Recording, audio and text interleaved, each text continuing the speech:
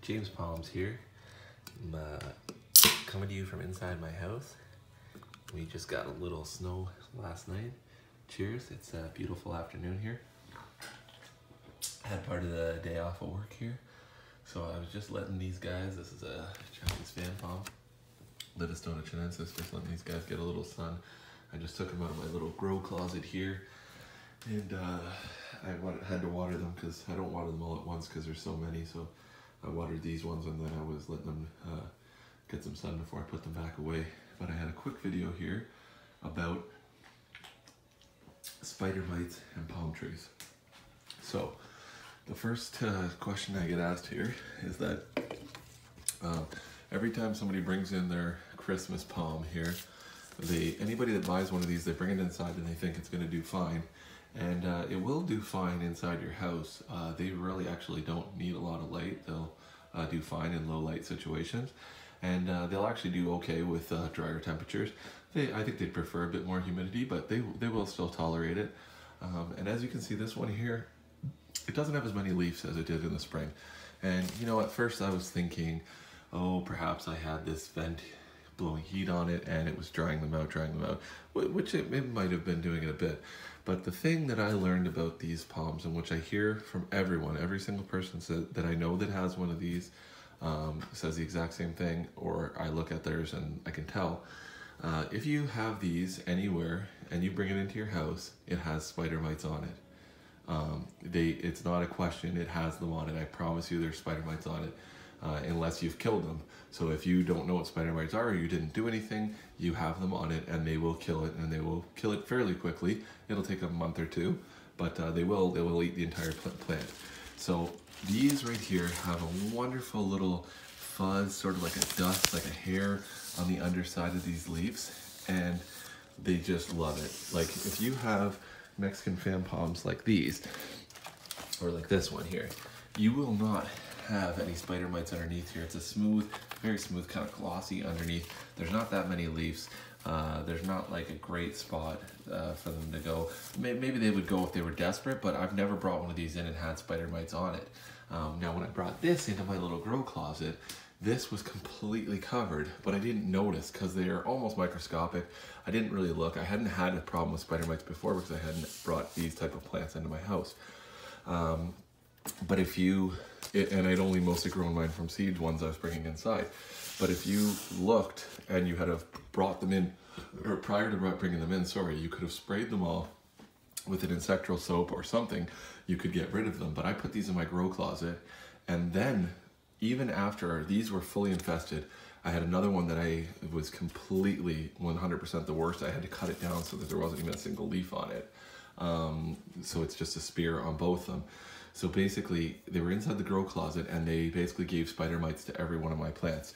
So then it was an absolute nightmare to get rid of. I had to three or four different times uh, completely uh, pesti use pesticides to get rid of them, which I'll show you the pesticide that I use. So I use the Safer's End-All, and this is what you what I would use. I recommend. This is a miticide insecticide, and this is not a soap. This is an actual pesticide, and this is available even in Canada, where a lot of stuff isn't available. And this does kill them. This will kill spider mites. You can get rid of them, like I did at first, because before I bought this, I just mixed a bit of, all you need is a bit of uh, Dawn dish soap, and just mix it into a spray. Uh, a spray thing like this, you only need a few tablespoons, mix it into your spray thing with just water, and spray the underneath of them just completely soak the entire plant. And uh, you can damage some of the foliage on some plants. I haven't found that with any palm tree, but uh, I only do it on palms. So uh, actually, and I did it on a hibiscus. So, but basically you can coat the entire plant in it and you won't have any problems at all uh, with regular soap from any palm that I have. I've coated every palm that I, that I know in it. So I did the soap first and the soap will kill them um, and it is good. But if you use this, you'll get rid of and you really soak your whole plant and you spray it on the soil and everything, you'll also get rid of your aphids. You won't 100% get rid of them a million, but you'll you'll decimate them and you won't notice if you have nearly as many little aphids and little uh, fungus gnats and things cruising around. You'll, you'll just notice they cut down huge on them. So that's what I did and it cuts down on them a lot. Um, and if you want to get rid of them, basically, I recommend you spray it with either the Dawn dish soap or something like this. If you use this and you do it in a confined space or confined room, or you, if it's a small enough plant or whatever, you can bag it in a, uh, like a garbage bag or something and you basically can gas it as well. This most of them, like if it's the insectal soap, it needs to contact the the plant.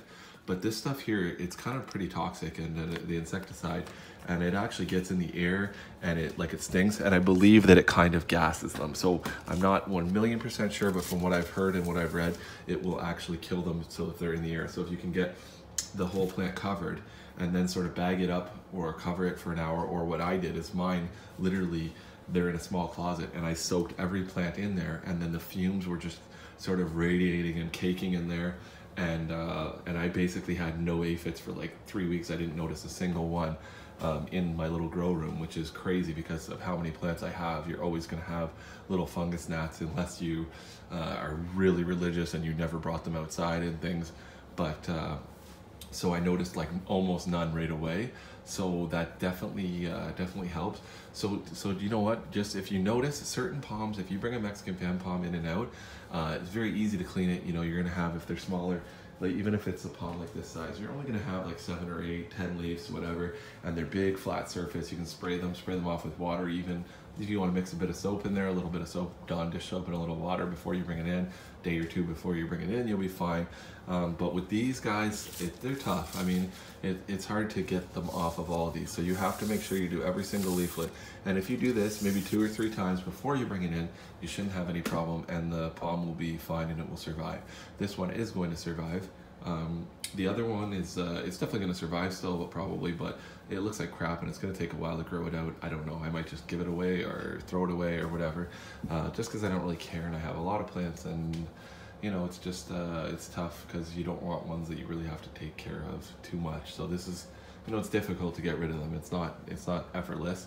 So if you want to just uh, have a plant that you just can bring in whenever it, whenever it gets cold and put it back on your patio in the spring, this is not really the plant for you, which a lot of people buy them, you know, because they're very cheap and they look very tropical and they're like, oh, perfect, it's small enough, I can bring inside my house.